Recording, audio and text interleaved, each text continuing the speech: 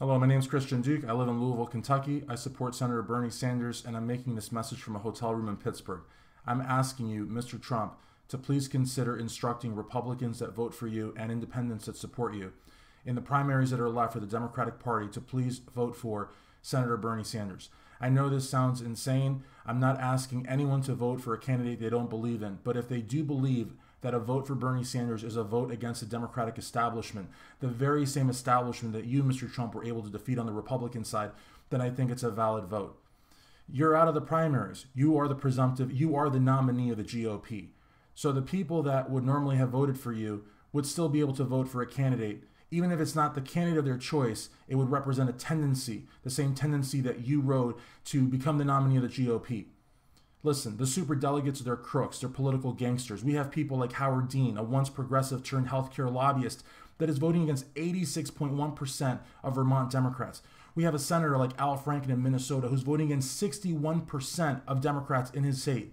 This is outrageous. Outrageous. And these people will never change. Debbie Wasserman Schultz is not going to hit all of a sudden and have some sort of a conscience and realize that in the 18, 19 states primaries and caucuses that we have won decisively that super delegates should vote with the people. Even if Senator Sanders mobilizes the delegates at the convention and we try to change the rules, we all know that's not going to happen.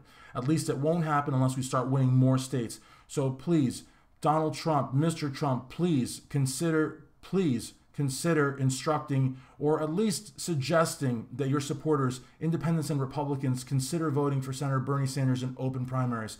Again, it's not fraud. We would be voting, we're all voting against an establishment. The Democratic one, the Republican one, it's the same thing. It's bureaucrats trying to tell the people what to do. And that is not American. If there is any fraud, that is the fraud.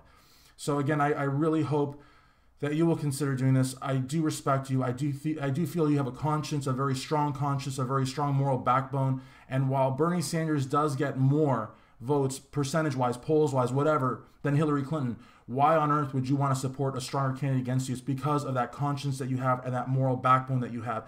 I really believe that you want to take on the very best candidate because I really believe you really want to win the presidency.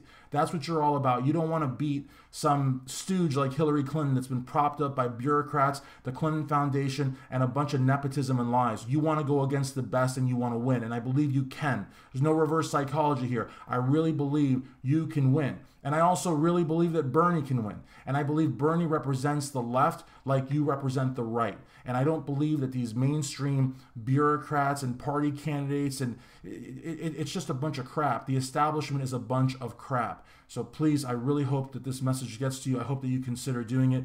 I know that you've talked about Bernie Sanders running third party, but Bernie Sanders does not want to do that. He wants to take on Hillary Clinton. He wants to defeat Hillary Clinton, and he wants to be the nominee in Philadelphia. And with your help, he can do it.